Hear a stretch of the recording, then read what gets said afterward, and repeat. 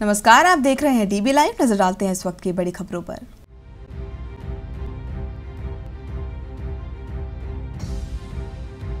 Pakistan airlines का विमान हुआ क्रैश। चित्राल से इस्लामाबाद जा रहा था विमान। विमान में 40 से ज़्यादा यात्री थे सवार।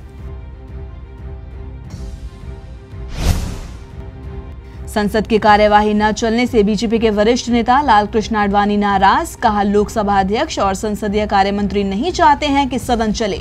नोटबंदी के मुद्दे पर आज तेरहवें दिन भी संसद रही ठप।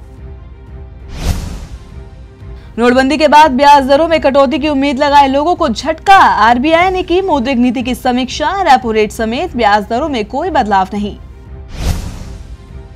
बुलंदशहर मामले पर आज़म खान को सुप्रीम कोर्ट से झटका। कोर्ट ने आज़म खान का माफीनामा किया खारिज। अब 15 दिसंबर तक देना होगा नया हलफनामा।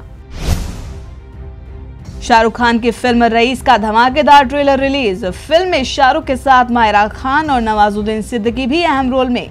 फ़िल्म 25 जनवरी को होगी रिलीज़।